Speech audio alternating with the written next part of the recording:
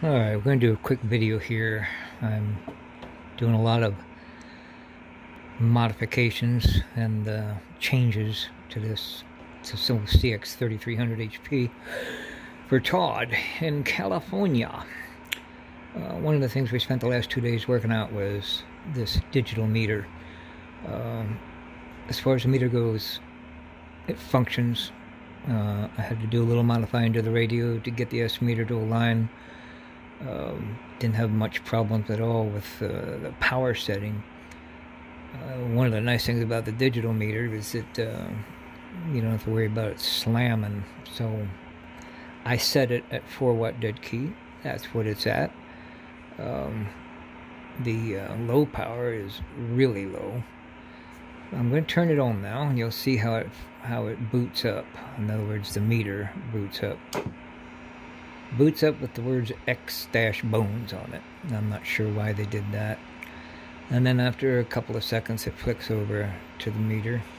If I go to a 100 microvolt signal, you can see she's right on S9.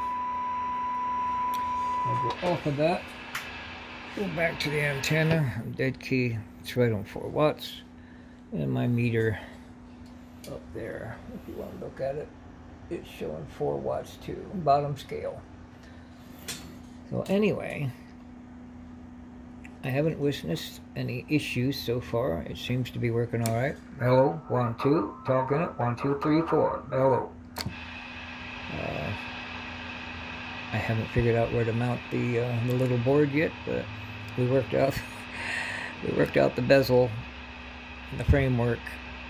The actual S meter would not work this thing would not fit inside the S meter housing so I don't know how they did that in the ones where it shows that they did it um, I just I didn't see any way to make it work. So I manufactured my own clear plastic face for the back and uh, I then made a a picture frame out of uh, some material I had here and then I sprayed it several times with black lacquer.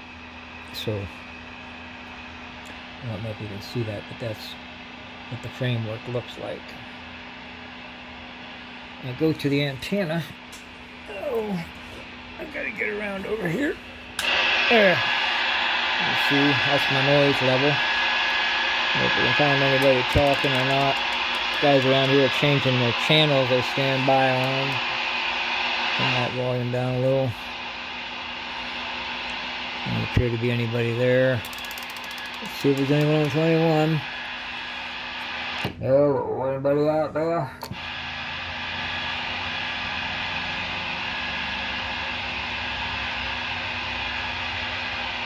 Test, test, test. One, two. Hello.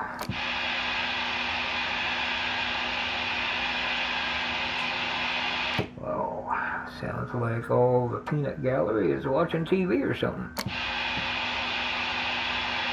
Now you see going back to X-bones, which I don't understand. Uh, I'm going to wait till I have it fully mounted and uh, don't have all these long wires. I don't know if RF will have something to do with it. When we have it fully mounted the way it's going to be mounted and the wires all shortened down to where they're going to be, we'll see. Otherwise, I don't know. First time I put one of these in, so I don't have any baseline to work with. Anyway, as far as it's working when it's on S meter, it seems to be working fine. Uh, when you key the mic, it switches to PWR power meter. It's aligned properly. It's right on 4 watts where it's supposed to be. Um, it does have a feature for calibrate for SWR, but this doesn't have an SWR function, so I think it's at the uh, at the power mounting. Anyway, it it seems to be all right. Uh, that's as bright as it gets. Uh, so if you see it, Todd, I'm going to post this. We'll and we'll get with you on the phone when I get this thing completely finished.